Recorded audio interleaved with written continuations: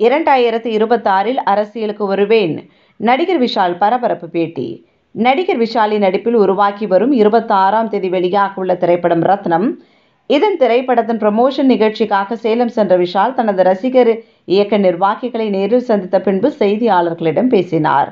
அப்போது அரசியல் குறித்த கேள்விக்கு மக்களுக்கு நன்மை செய்ய வேண்டுமென்று யோசித்தால் அரசியல் கட்சிதான் தொடங்க வேண்டும். தற்போதுள்ள அரசியல் தலைவர்களே அந்த வேலையை செய்துவிட்டால் நான் நடித்துவிட்டு சென்று விடுவேன் என்றும் ஆகவே என்னை போன்றவர்களை நடிக்க விடுங்கள் என்றும் கூறினார். அடுத்த இருபத்தி ஆறு வந்து நான் சொல்லிட்டேன் ஒரு வாட்டி தான் சொல்ல முடியும். ஒவ்வொரு வாட்டி சொல்லிட்டு இருக்கக்கூடாது அது வர வர- வர நேரத்தில் டெஃபினட்டாக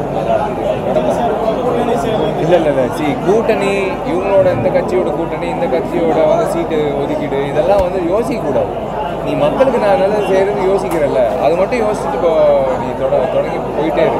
நான் இப்போவும் சொல்கிறேன் இருபத்தி ஆறு வந்து நான் வரேன்னு நான் சொல்லியிருக்கேன். இருபத்தி ஆறு என்னை வர விடாதீங்க. நீங்கள் நல்லது பண்ணிட்டீங்கன்னா நாங்கள் பாட்டு நடிச்சுட்டு போயிட்டே இருப்போம். அதான் திரும்ப திரும்ப சொல்லிட்டு இருக்கேன் ஓயாமல் சொல்லிட்டு இருக்கேன். இருபத்தி ஆறில் நீங்கள் ஏன் வந்து இன்னொருத்தருக்கு வந்து வழி கொடுக்குறீங்க. எல்லாரும் நல்லது தானே செய்கிறதுக்கு வரீங்க. நீங்கள் நல்லது சேர்ந்து மு முடிச்சிட்டிங்கன்னா நாங்கள் வந்து எங்கள் தொழிலில் விட்டு உங்கள் தொழிலில் நோக்கி வந்துருக்கோம்